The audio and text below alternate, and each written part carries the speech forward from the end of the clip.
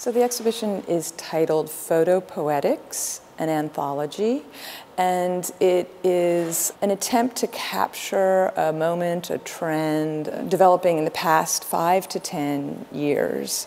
I initially chose this title, Photopoetics, because I thought it was elastic enough to include a lot of different types of practice, and it certainly includes different media.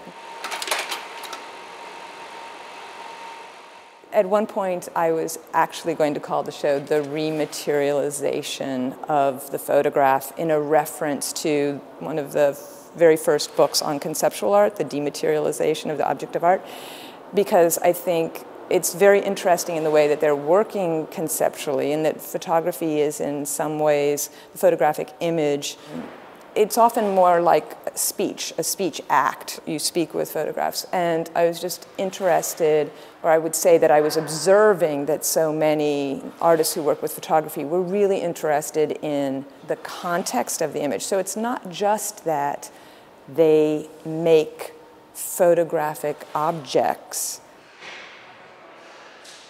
What I think is so impressive about it that it is looking or pushing what the medium can do.